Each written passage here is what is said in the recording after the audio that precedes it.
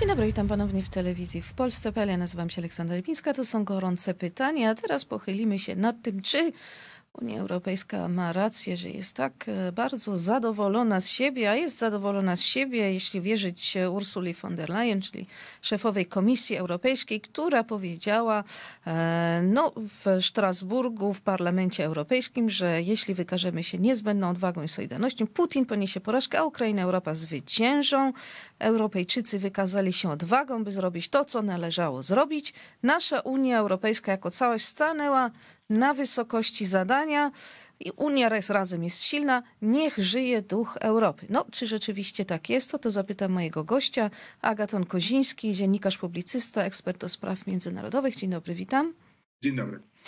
No właśnie, Unia razem jest silna, niech żyje duch Europy. No, bardzo pani komisarz von der Leyen była zadowolona. Czy rzeczywiście Unia Europejska stanęła tutaj na wysokości zadania, patrząc na ten cały okres e, od lutego, od chwili wybuchu rosyjskiej agresji na Ukrainę?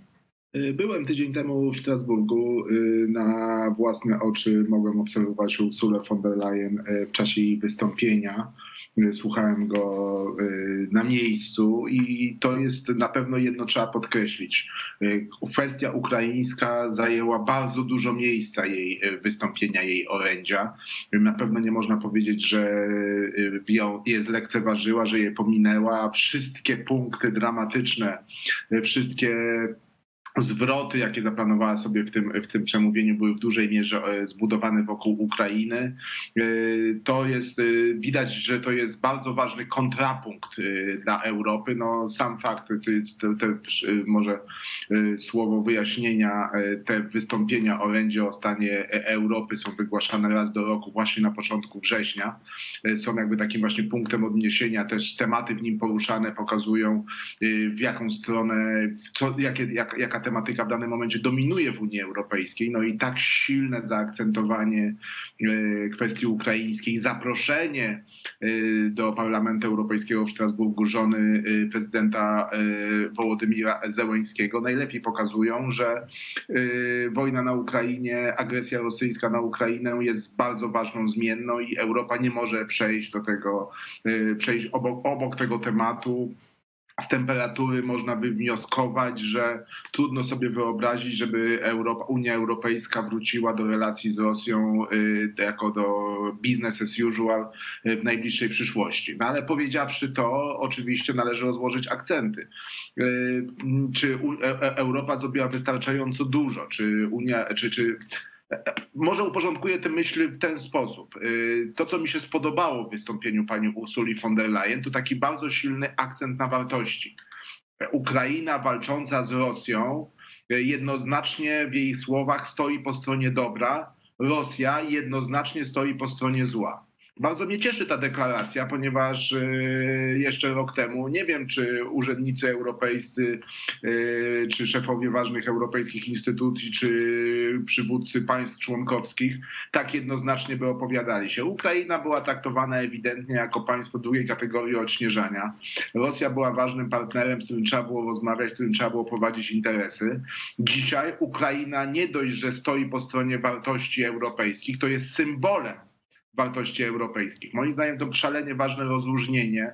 Y, tam nie było mowy o wartościach y, typu y, jakichś tak mniejszych składowych. Tu sobie dotykaliśmy wartości najbardziej elementarnych, jak wolność, jak demokracja, jak wolność słowa. Y, te kwestie, te kwestie, te, te kwestie dzisiaj Ukraina reprezentuje i dzisiaj te kwestie jako najważniejsze na swoje sztandary wciąga y, Ursula von der Leyen i wciąga, rozumiem, cała Unia Europejska. To jest ważne rozróżnienie. No, wiemy też, że w polskich mediach oczywiście szerokim echem odbiły się przede wszystkim słowa o tym, że że należało w przeszłości słuchać tych, którzy znają Rosję, ostrzegali przed nią i tu Polska została wymieniona i kraje e, bałtyckie. Co należy wyczytać z tego wyróżnienia? Czy mamy rzeczywiście powody tutaj sądzić, że z tego wynika inne spojrzenie na, na Polskę, na jej status, na jej rolę? Nie, tutaj aż tak daleko bym nie szedł, to po prostu ładne słowa.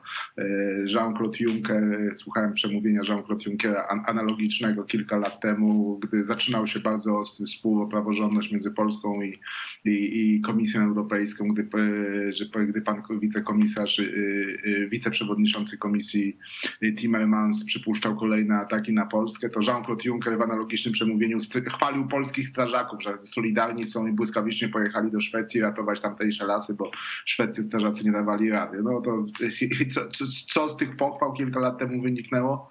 Moim zdaniem wyniknie dokładnie to samo z tych pochwał, które teraz wygłasza. Halo? Halo? Słyszę, ja słyszę. A, przepraszam, zawiesił mi się obraz. Yy, wyniknie dokładnie tyle samo. Właśnie tutaj przechodzę do drugiej części, bo te wartości elementarne są ważne. Yy, też fakt, że Ursula von der Leyen w jednej linijce dosłownie wspomniała o praworządności, że ta praworządność, Unia Europejska będzie o tę praworządność dbała, to jednak zachowując proporcje, a takie przemówienia jak też proporcje mają znaczenie. Tu była jedna linijka o wartościach wyższej, moim zdaniem to jest jednak gradacja między tymi wartościami wyraźna. Było właśnie takich jak wolność, demokracja, było zdecydowanie więcej. E, z drugiej strony wsadzanie Unii Europejskiej w Unii Europejskiej wszystkiego do jednego worka moim zdaniem jest jednak nadużyciem, bo y, powiedziałem o wartościach, powiedziałem o ideach, a teraz jeszcze jest język praktyki bo pani przytoczyła słowa Ursuli von der Leyen na początku y, mówiącego, że u, u, Europa, stanęła, y, na, y, Europa stanęła na wysokości zadania. No właśnie, tu jest, mam z tym dużo wątpliwości, czy tak można uogólniać. Już pomijam kwestię tempa wprowadzania sankcji, że bądź co bądź członek Unii Europejskiej, taki kraj jak Węgry, ewidentnie sabotuje współpracę europejską. No Niemcom też było bardzo ciężko, tak? Tak, że Węgry, Węgry mają z tym problem, że Niemcy, którzy powinni być z racji swoich rozmiarów, z racji wpływów, z racji z tego, że Ursula von der Leyen była przez kilka lat ministrem obrony Niemiec, Niemiec powinni mieć specjalne obowiązki, dodatkowe obowiązki, a ewidentnie tych obowiązków unikają. Y, y, obiecują dużo na papierze, nie dowożą, też te sankcje blokują, bardzo dużo problemów mieli i teraz mają cały czas problemy, żeby zerwać współpracę gospodarczą z Rosją. Widzimy to wszyscy. Natomiast to, co było szczególnie uderzające i to jest taka kategoria taka kategoria, moim zdaniem, to podpadło po to wręcz wprost, chociaż cytatu żywego się nie da tego ubrać, ale to był klasyczny fake news. E, to, co powiedziała Ursula von der Leyen e, na samą puentę, zachowała zachowując gradację, na puentę swojego wystąpienia wspomniała o kwestii uchodźców ukraińskich i powiedziała, gdy zapukaliście, cytuję z głowy, ale mniej więcej taki był sens, gdy zapukaliście do naszych drzwi, my te drzwi otworzyliśmy. Europa w najlepszym wydaniu. No rzeczywiście 7 milionów Ukraińców y, przyjechało do Europy, Europa ich wpuściła, tylko zachowajmy proporcje. Wpuściła ich przede wszystkim Polska, 6 milionów uchodźców trafiło do Polski, wpuściły je kraje Europy Środkowej, y, kraje Europy Zachodniej początkowo bardzo mocno się wahały, czy w ogóle jakichkolwiek Ukraińców wpuszczać na swoje terytorium. Y, w końcu się przełamały i zaczęły ich wpuszczać, ale to wszystko dzieje się bardzo powoli. No jeżeli ktoś tutaj stanął na wysokości wysokości zadań, zadania, gdy Ukraińcy zapukali do naszych drzwi, to stanęli przede wszystkim Polacy. I tutaj jest takie powiedzenie, y, y, Virtue signaling, y, takie w polsku nie ma zręcznego chwalenie się cnotą, czyli takie przemówienie, że wszyscy Europejczycy mogli się poczuć dobrze, bo to jest rzeczywiście wszyscy, Europa w najlepszym wydaniu. My, Europejczycy, wiedzieliśmy, kto jest dobry, kto jest zły w tym konflikcie, natychmiast pomogliśmy. Tylko, że zachowajmy proporcje. Jaka była w tym zasługa Hiszpanów, Portugalczyków, Belgów, y, nawet Niemców, Holendrów czy Włochów y, w tym przyjmowaniu Ukraińców? Zasługa była przede wszystkim Polski i Polaków, którzy nie dość, że zaakceptowali napływ Ukraińców, którzy otworzyli przed nimi swoje domy, to, że nie powstały nawet obozy dla uchodźców, tylko udało się Ukraińców po całym kraju w różny sposób y, rozłożyć i zaciskając często zęby, ale jednak Polska y, radziła sobie z tym problemem, y, mając świadomość wyższego celu, że nawet jeżeli jest to kłopotliwe i kosztowne, to, to, to, to Ukraińcy mają nieporównywalnie z nami gorzej i rozumieliśmy tą gradację bez słów właściwie. Nie trzeba było nikogo namawiać, to po prostu się wydarzyło. No ale to się wydarzyło w Polsce, a nie w Europie. Polska jest oczywiście członkiem y, Unii Europejskiej.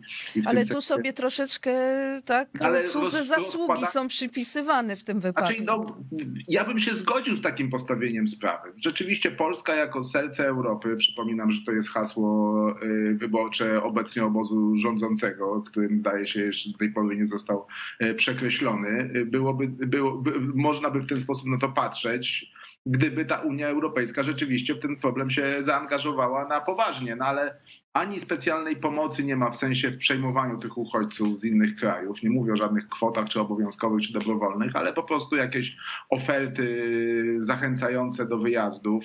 Nie, pomoc finansowa dla Polski, żeby, przypomnę, że do Polski, pomoc dla uchodźców w Polsce to jest koszt y, prawie 1% PKB polskiego. Pomoc finansowa ze strony Unii Europejskiej, w jaki sposób to rekompensująca jest y, znikoma. Właściwie wszystko finansuje y, polski podatnik podatnik.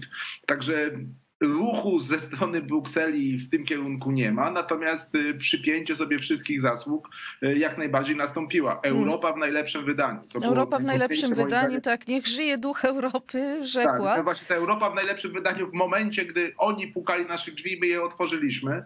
Y, to nie jest tak, że Ursula von der Leyen lekceważyła Polskę na samą puentę swojego wystąpienia zaprosiła obok e, żony prezydenta Zełańskiego, zaprosiła również dwie Polki, które przyjechały gdzieś z Polski do Warszawy i na dworcu centralnym bardzo gorąco pomagały Ukraińcom z pełną determinacją, jaką, jaką ludzie są w stanie im pomóc robili wszystko, robiły te dwie Polki wszystko, żeby, żeby, żeby pani Małgosia i pani Ania, jeśli dobrze pamiętam, mm. robiły no. wszystko, żeby, żeby, żeby, żeby Ukraińcom było jak najlepiej, jak najłatwiej poradzić sobie z tym problemem napływu nagłego uchodźców. No, zostały no, nam trzy minuty, dlatego chciałabym zapytać jeszcze o to, czego zabrakło w zasadzie, czyli zabrakło w tym przemówieniu wizji miejsca Unii w świecie, roli jako geopolitycznego gracza, do którego przecież Unia aspiruje.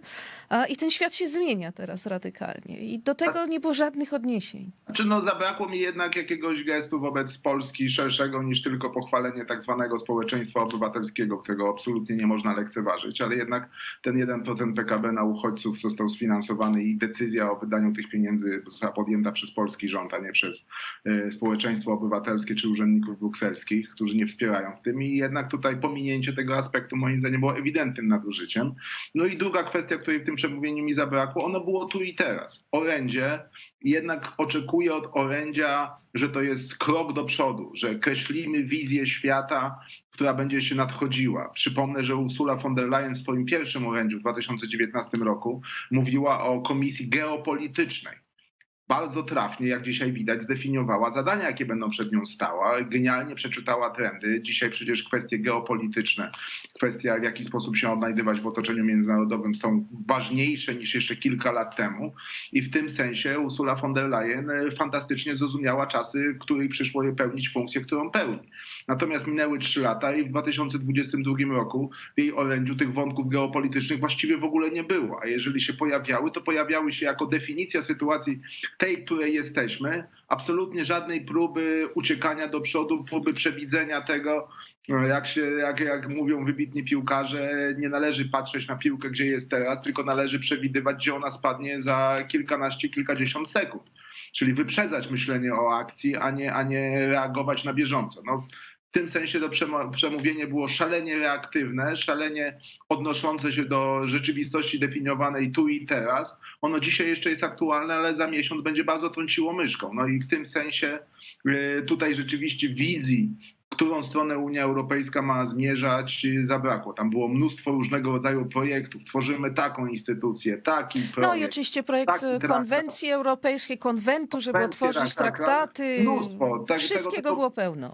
Było tego wszystkiego pełno, ale co z tego wynikało, w jaką logiczną całość miało to się złożyć, y, tego dali Bóg z tego wystąpienia wychwycić się nie dało. No i to moim zdaniem była pięta achillesowa. Skoro oczekujemy od geopolitycznej komisji, że będzie rzeczywiście geopolityczna, no to tą geopolitykę, tę mapę świata czy mapę otoczenia europejskiego należy starannie rysować. Tutaj nawet nie było jakiegoś takiego ogólnego szkicu otoczenia. A to rzeczywiście szkoda, bo następne orędzie o stanie Unii będzie w przyszłym roku. No i będziemy musieli poczekać, czy może wtedy Ursula von der Leyen wykuje jakąś e, wizję. E, Moim Państwa gościem był Agaton Koziński, dziennikarz, publicysta, ekspert do spraw międzynarodowych. Dziękuję bardzo za rozmowę. Bardzo A. Państwa zachęcam do pozostania z nami, bo za chwilkę e, porozmawiamy. Ja porozmawiam z moim gościem o tym, jaka będzie, może być Ukraina po wojnie i czy wszystkie wady systemu politycznego Ukrainy, jak na przykład oligarchizacja, no czy teraz jest szansa na to, że one rzeczywiście znikną. Zapraszam.